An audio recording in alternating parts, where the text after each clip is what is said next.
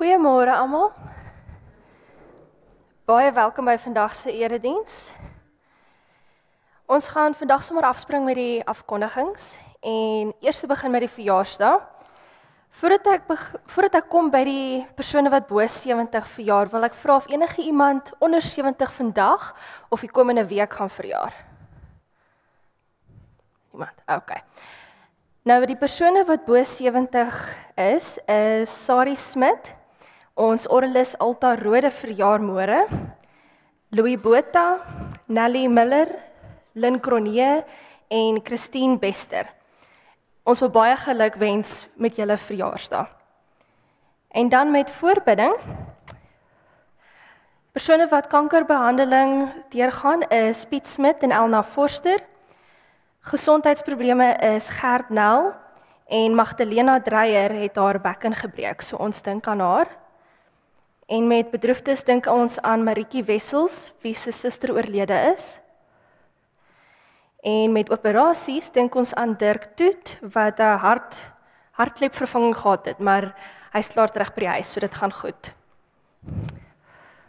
Vandag se erediens gaan 'n nagmaal erediens wees. So as die van julle ingekom het en vergeet het om 'n kelkie en 'n stukkie brood te neem, dit is by die deur beskikbaar. En vandag se bydrae gaan ook aan ons Bybelverspreidings So dink ook maar net daaraan. en dan met die bazaar, die koeverte vir die bazaar is beskikbaar by die deur. As en dis ook ons kan ook betalings aanlyn doen op die internet. Jy kan ook bel, bestel en kom haal en ons wil ook baie dankie sê aan almal wat gister pannekoek gekoop het en ook die wat uitgehelp het met die maak en die verkoop van die pannekoek. Ons het 2.500 ingesamel. So baie dankie daarvoor. Dan gaan die 11de Junie gaan ons worsbroodjies beskikbaar hê. Die 25ste Junie curry en rys en deurlopend hierdie jaar koek en tert om te bestel. Jy kan by die kerkkantoor gaan bestel. En ons boekekamer gaan oop wees na die erediens. So as daar van julle is wat julle biblioteek 'n bietjie groter wil maak, stop gerus daar asseblief. Ons gaan ook die 30ste Ekskuus. Ons gaan ook die 30ste Mei om 9:00 in die kerk afskeid neem aan Dominee Christo en Hannetjie van Vieren. En dan die wit olifante gaan oop wees na die erediens by die motorhuis op die parkeerterrein. En ons wil ook baie dankie sê aan almal wat nog deelneem aan maandelikse bydraes met die offergawes en ook dankie sê vir die wat ook weekliks deelneem aan dit. En ons wil ook net laastens vir almal herinner dat na die erediens gaan ons nog steeds kategese hê. So maar net by hou net asseblief dit ook in gedagte. En dit sluit dan ons afkondigings af vir die dag. Ons gaan vandag se erediens begin met 'n gebed. So kom ons sluit die oë. Liewe Here, baie dankie dat elkeen van ons vanoggend hier kan wees in U teenwoordigheid. Ons is so dankbaar dat ons saam kan kom om U boodskap te hoor en U kan lof en prys. Here, ons is U gemeenskap van gelowiges en ons dank U dat U in ons lewens is. Here ons bid dat U asseblief saam met elkeen sal wees wat besig is om deur 'n moeilike tyd te gaan. Wat herstel van siek wees, van operasies of wat 'n geliefde verloor het. Ons vra dat U by elkeen van ons sal wees. Here, dankie dat ons hier kan wees Laat ons asseblief u boodskap met oop harte en oop denke ontvang. Ons bid dit in u naam alleen. Amen. Ons gaan vandag begin met 'n gedeelte uit Openbaring 22 vers 13 en 14. Ek is die Alfa en die Omega, die eerste en die laaste, die begin en die einde. Geseend is die wat hulle klere was sodat hulle reg kan hê op die boom van die lewe en deur die poorte in die stad kan ingaan. Genade en vrede vir julle van God ons Vader en die Here Jesus Christus deur die teenwoordigheid van die Heilige Gees. Amen. Ons gaan vanoggend saam drie liedere sing. Prys die Heer omdat hy goed is. Dit gaan 'n beurtsang lied wees. Ons gaan al drie verse sing. En dan prys die Here vanuit die hemele vers 1 tot 4 en soos 'n wildspok vers 1 2 en 3. En daarna gaan Daniel na vore toe kom.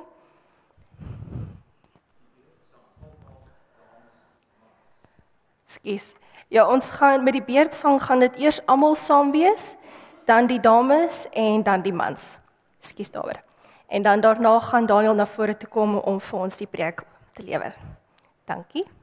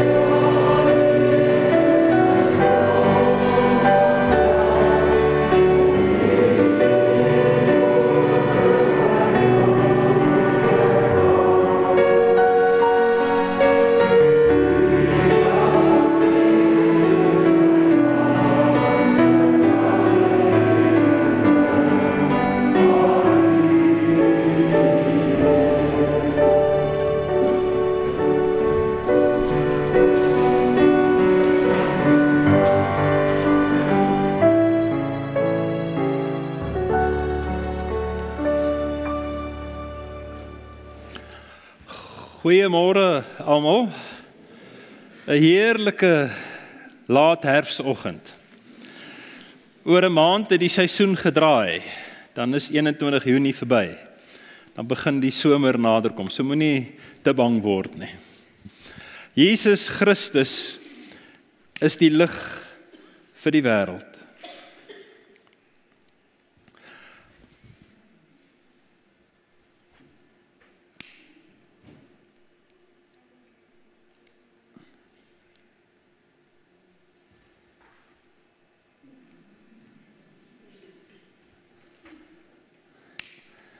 Die was is so koud dat dit nie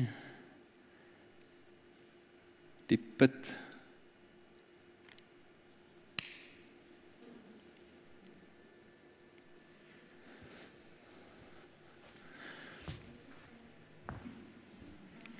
Dis 'n simboliese kers, maar ons weet Christus is die lig vir die wêreld.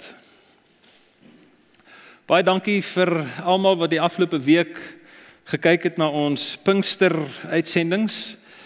Ehm um, dit was vir my verskriklik lekker om met hierdie sewe briewe besig te wees wat God aan Christus en Johannes openbaar het en wat hy neergeskryf het. Vanoggend is ons by die laaste brief aan die gemeente in Laodicea, die sewende brief. Ons gaan dit saam lees uit Openbaring hoofstuk 3 vanaf vers 14. Openbaring 3 vanaf vers 14. Skrywe aan die leraar van die gemeente in Laodicea. So sê die Amen. Die geloofwaardige en ware getuie, hy deur wie God alles geskep het. Ek weet alles wat julle doen. Ek weet dat julle nie koud is nie en ook nie warm nie. As julle tog maar koud of warm was, maar nou omdat julle lou is, nie warm nie en ook nie koud nie, gaan ek julle uit my mond uitspoeg. Julle sê ons is ryk, skatryk en ons het niks meer nodig nie. En julle weet nie dat julle elendig en beklaanswaardig is nie, arm, blind en kaal. Daarom raai ek julle aan om by my goud te koop wat deur vuur gelouter is sodat jy ryk kan word en koop wit klere sodat jy julle kan aantrek en julle skande, julle naaktheid nie gesien word nie. En koop oogsalf om julle aan julle oë te smeer sodat julle kan sien. Ek bestraf en tug elkeen wat ek liefhet. Laat dit dan vir julle erns wees en bekeer julle. Kyk, ek staan by die deur en ek klop. As iemand my stem hoor en die deur oopmaak, sal ek by hom ingaan en saam met hom die feesmaal hou en hy saam met my. Elkeen wat die oorwinning behaal, sal ek saam met my op die troon laat sit, net soos ek ook die oorwinning behaal het en saam met my Vader op sy troon gaan sit het. Elkeen wat kan hoor, moet luister na wat die Gees vir die gemeente sê. Tot sover is ons skrifgedeelte.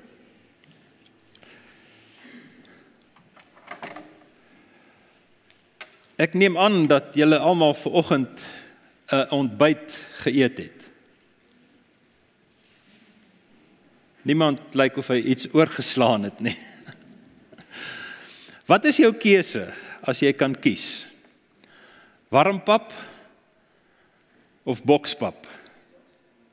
Gaan jy jungle oats gaar maak of gaan jy cocoa pops eet?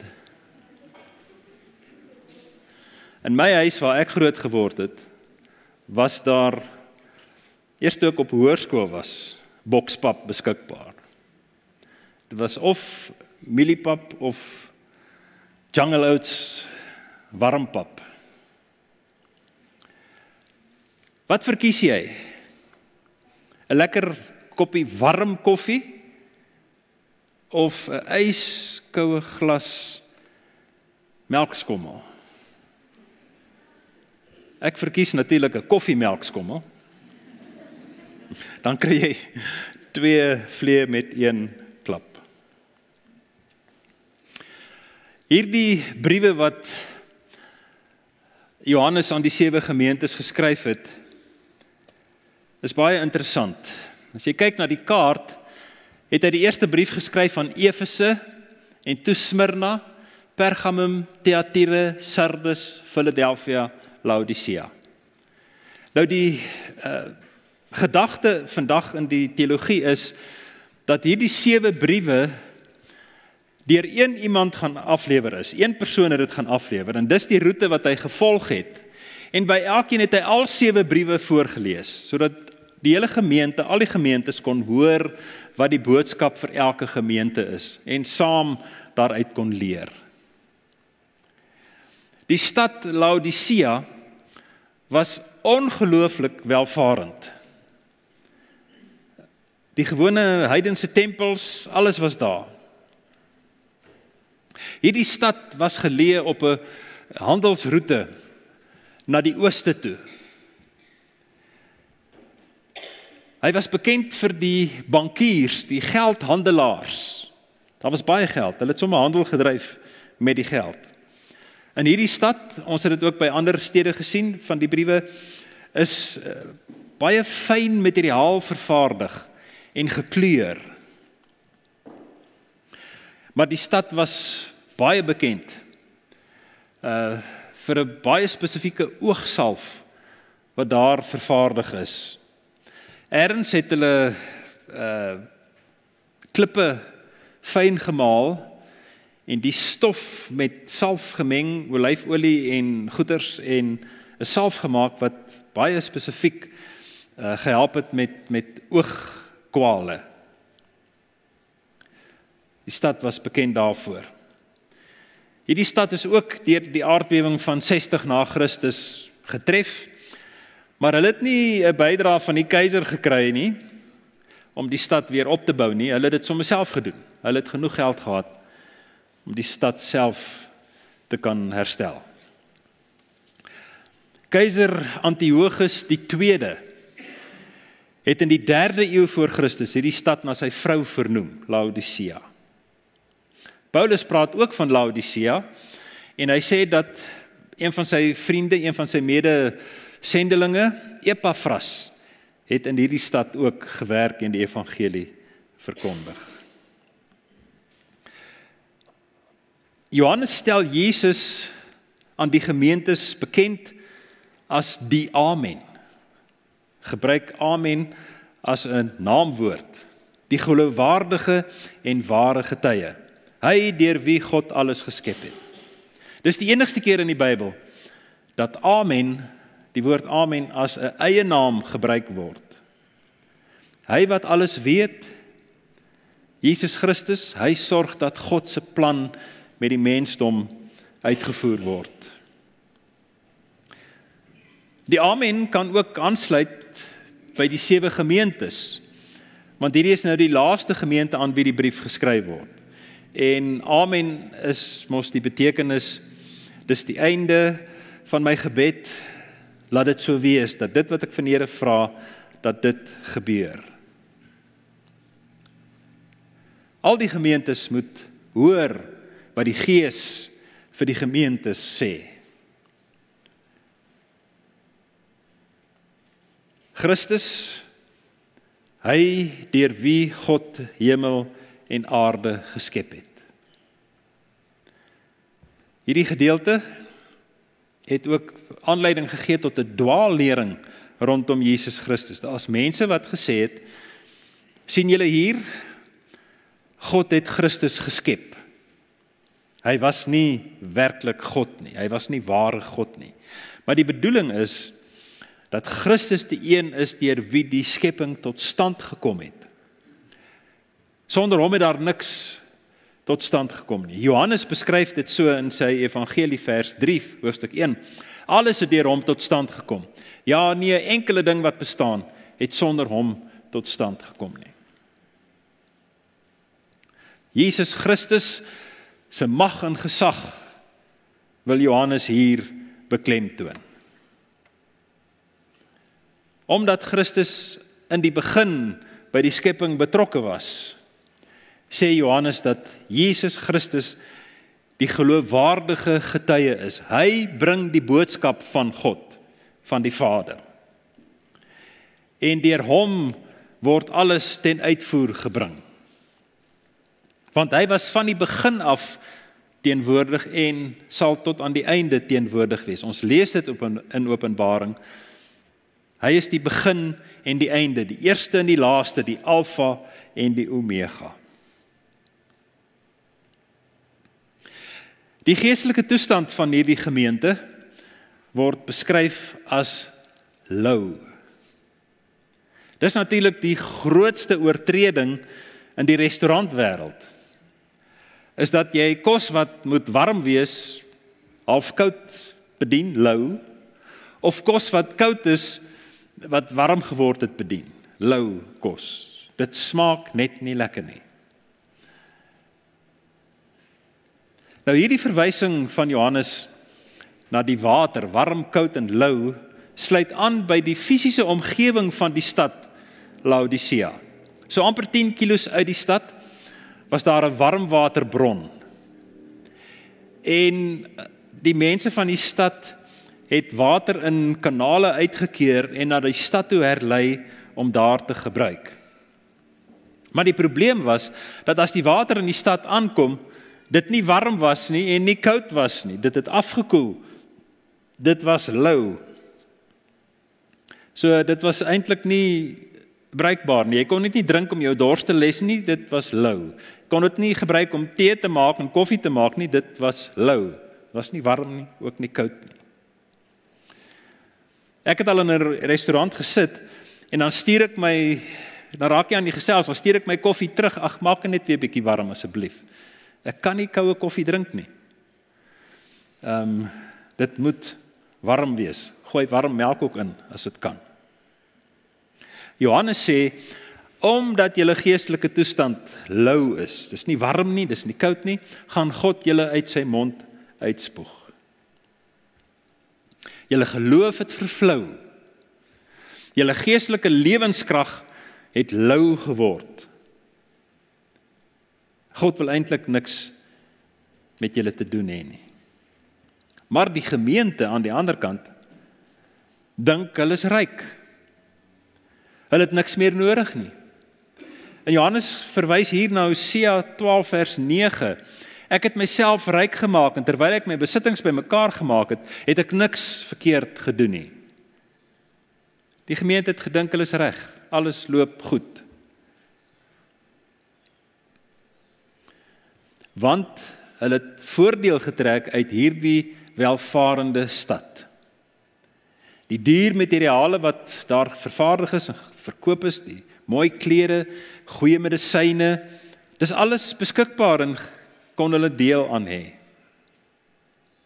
Maar in vers 17 skryf Johannes: God sien hierdie gemeente as elendig, beklaanswaardig, arm, blind, kaal. Absoluut elendig. In die Ou Testament was die gedagte dat jy as jy in onguns by God is word jy beskryf as kaal en as jy fisies kaal is dan is dit 'n teken daarvan dat jy nie in die regte verhouding met God is nie. Daar was net een raad vir hierdie gemeente en jy kan raad nou met 'n D-spel of met 'n T-spel. Hulle moet hulle losmaak van die mag van materialisme wat in die stad geheers het. En hulle moet weer ryk word in hulle liefde vir God. Die bankiers moet sorg dat hulle soos goud gelouter word deur vuur, die onsuiverhede uitgewerk word. So moet die bankiers weer op God fokus en nie verkeerd doen nie. Die materiaalhandelaars moet afstand doen van hulle klere van fyn gewefte materiaal. Hulle moet wit klere koop, die teken van die oorwinning van reinheid in God, sodat hulle skande en naaktheid bedek kan word. Hulle moet weer hulle geloof beoefen. Hulle moet glo dat Jesus Christus die seun van God is. Die aptekers en die dokters wat met hierdie spesiale oogsalf bekende oogsalf werk, hulle moet die regte oogsalf kry, aan hulle oë smeer dat hulle blindheid weggeneem kan word sodat hulle weer vir God kan raak sien.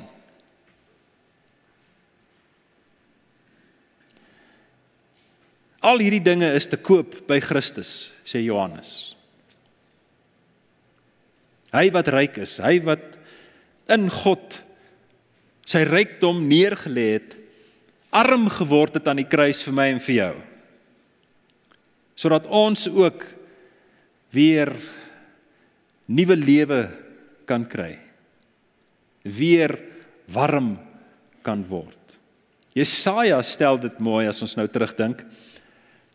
Kom koop sonder geld en sonder om te betaal. Uit die rykdom van God se genade.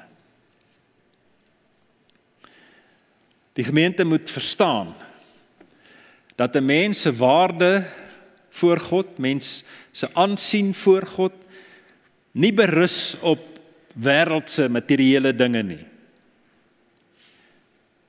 Jou verhouding met God word gemeet in jou verhouding van liefde, van geloof.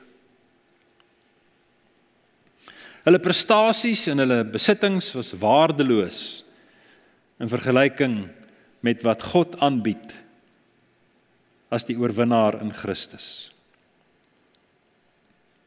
Johannes waarsku die gemeente as julle nie bereid is om te verander nie tot bekering te kom nie weer op God te fokus nie sal God julle moet straf en tug maar hy doen dit met liefde nie net om jou seer te maak nie dat jy uit vrees vir pyn weer op God fokus nie nee hy wil hulle terugtrek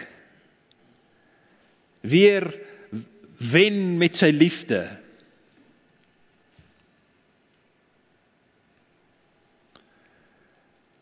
Het ek en jy dalk lou geword in ons geloof?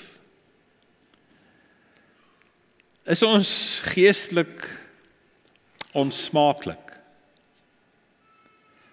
Kan ek en jy nog die honger en die dors van die wêreld rondom ons aanspreek? omdat ons honger en dors na God gestil is.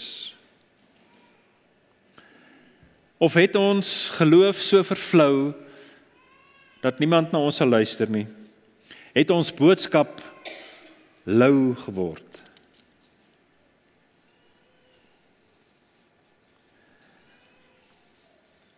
In die vorige briewe skryf Johannes in die meervoud Hier ook, hy begin met julle en hulle. Maar hier aan die einde van die brief begin Johannes in die enkelvoud praat, so asof die situasie kritiek is in Laodicea. So asof daar nie genoeg mense oor is in die gemeente om die boodskap te hoor nie. Hy begin praat van jy. Jou. En veral by vers 20. Hy staan by die deur en hy klop. As iemand dit hoor, as jy dit hoor en die deur oopmaak, sal hy inkom en saam met jou 'n feesmaal vier.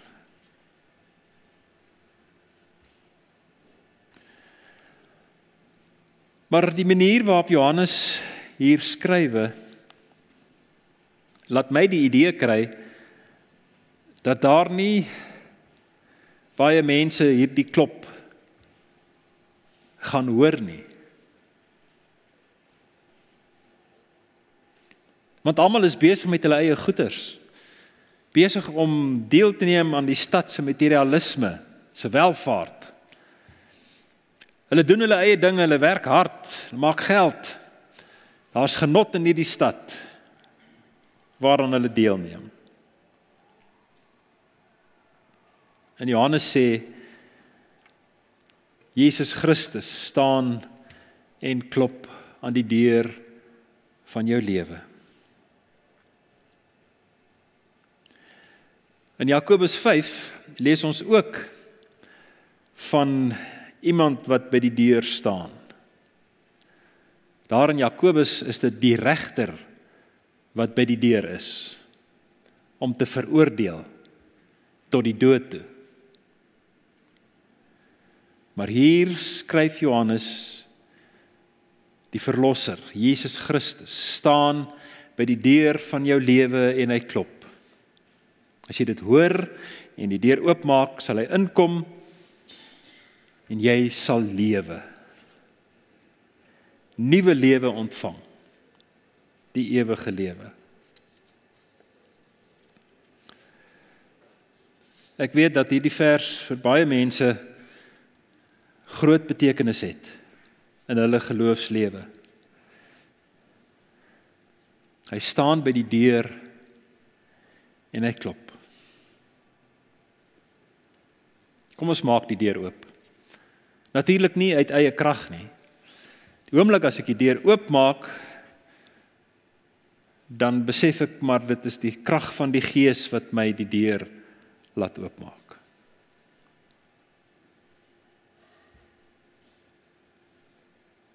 Johannes begin afsluit. Hy sê hulle wat gehoorsaam is. Hulle wat aanhou glo tot aan die einde, te midde van al die pyn en lyding, sal saam met Jesus die oorwinning behaal. Saam met Jesus by God gaan sit. aan sy troon gaan sit. Die beeld wat Johannes hier gebruik om aan God se troon te sit waar waar God en Seun, Vader en Seun heers en oorwinning vier, laat ons dink dat ons ook kan heers oor die sonde en die verleiding en die ongeregtigheid in my lewe. Ek kan daarvan loskom.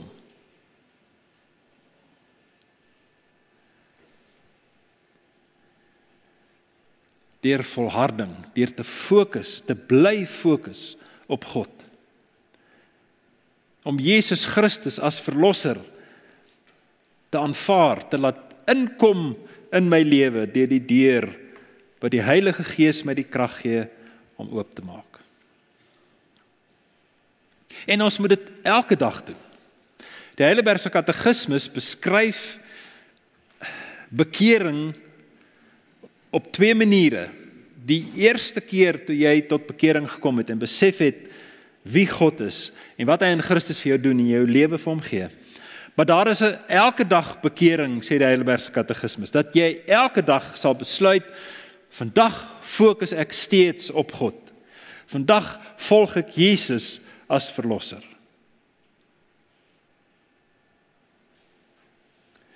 Johannes sluit af Hy sê elkeen wat kan hoor moet luister na wat die Gees vir die gemeente sê. Nou ja, die vraag wat ons vir onsself vanoggend moet vra is: hoor ek dit wat God deur sy Gees vir my in die woord gee? Tweede vraag is: luister ek? Daar's 'n verskil tussen hoor en luister. Hoor is by die een oor in en by die ander oor uit. Luister is om te verstaan dit wat ek hoor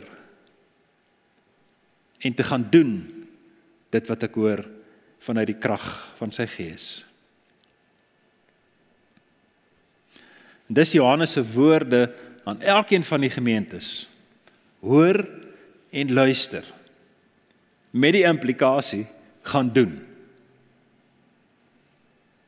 Hou op om ongehoorsaam te wees. Hou op om aan jouself te dink. Hou op om te fokus op die wêreldse materialisme.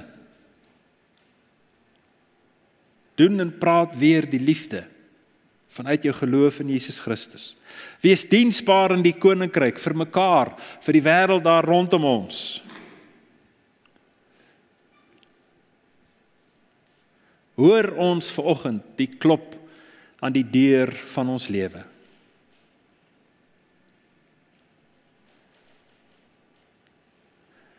Ons het geleentheid vir oggend elke dag om te reageer op die klop, om oop te maak opnuut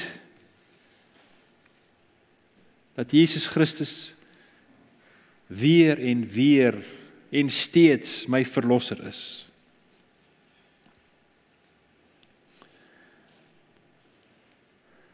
Elkeen wat kan hoor, moet luister na wat die Gees vir my sê persoonlik, maar ook vir die gemeente. As ons die nagmaal vier, dan bely ons ons skuld voor die Here. Ek gaan vir jou 'n rustige kans gee vir stil word vir die Here om baie spesifiek ons skuld en ongeregtigheid voor die Here te bely. En dan gaan ons dit ook met die woorde van 'n lied doen. Uh Vlam 56, die nagmaalslied. Ek staan skuldig voor die Heer, vergewe my. Kom ons raak stil in gebed.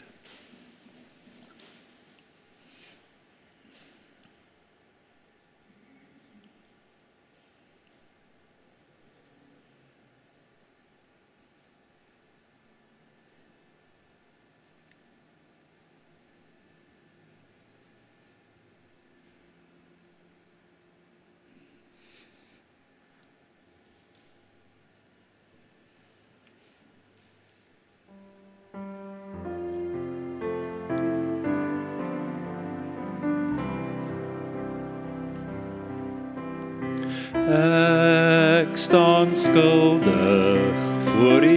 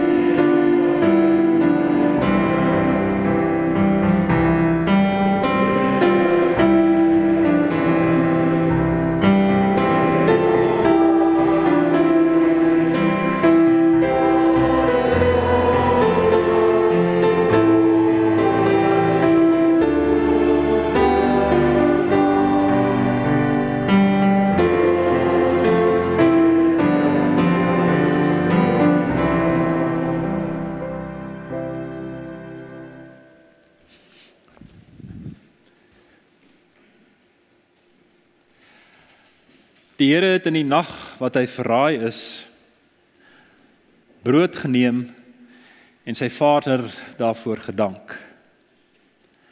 Hy het dit gebreek en aan sy disippels gegee met die woorde: Dit is my liggaam. Dit is vir julle. Neem die brood. Eet dit. Glo dan dat sy liggaam gebreek is as verzoening vir ons sonde.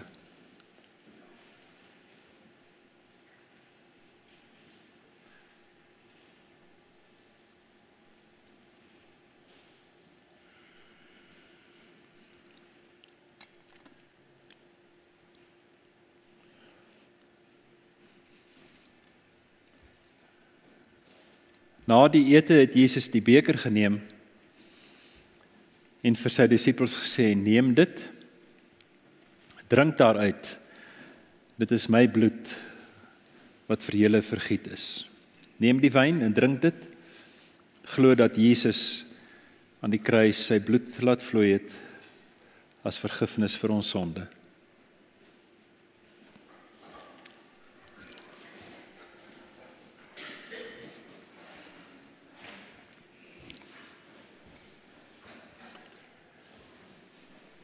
Ons hemelse Vader, ons buig vir U in aanbidding. U is ons God, Skepper God. U is die begin en die einde, die eerste en die laaste. En alles tussenin.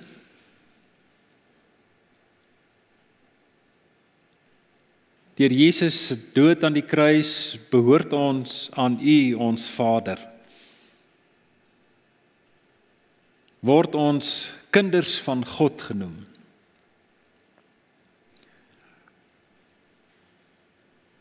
Dankie dat u ons ver oggend versterk simbolies met brood en wyn. Maar ons weet dat u ons versterk deur u gees, die krag van u gees.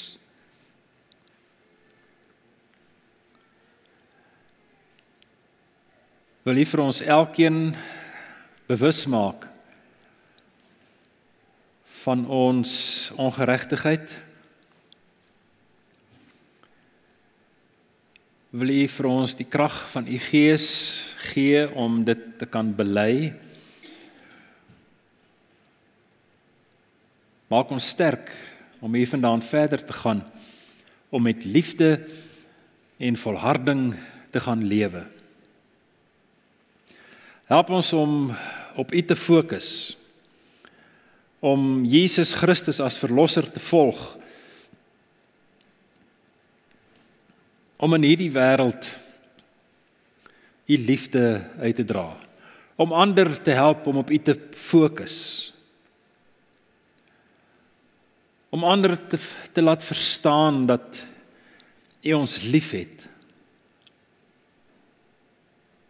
Dat U ons stuur om in die wêreld U liefde sigbaar te gaan maak en praat. Ons vra dit vir ons elkeen persoonlik, ons vra dit vir ons as 'n gemeente in hierdie omgewing. Ons buig voor U in dankbaarheid en afhanklikheid.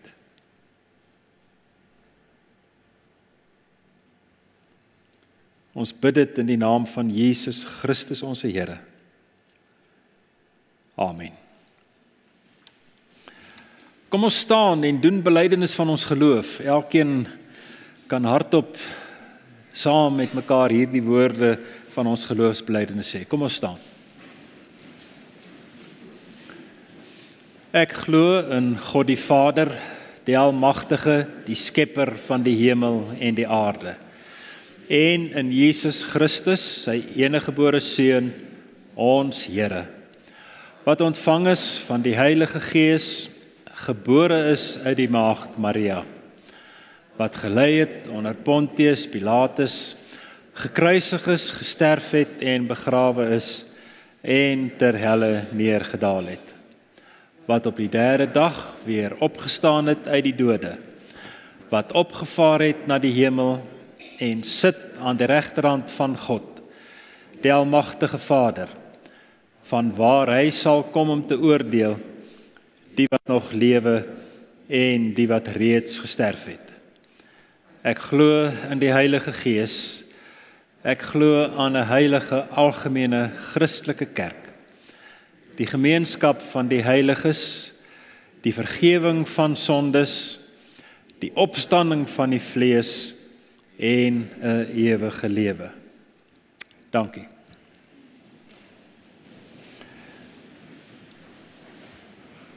Onthou dat ons uh offergawe, ons dankoffer word by die deure ingesamel, die sakkies staan oral rond. Ons gaan 'n laaste lied saam sing. In die hemel is die Heer, sy krag, sy mag wat van ons besit neem. Kom ons sing vers 1 en 2 van hierdie pragtige lied.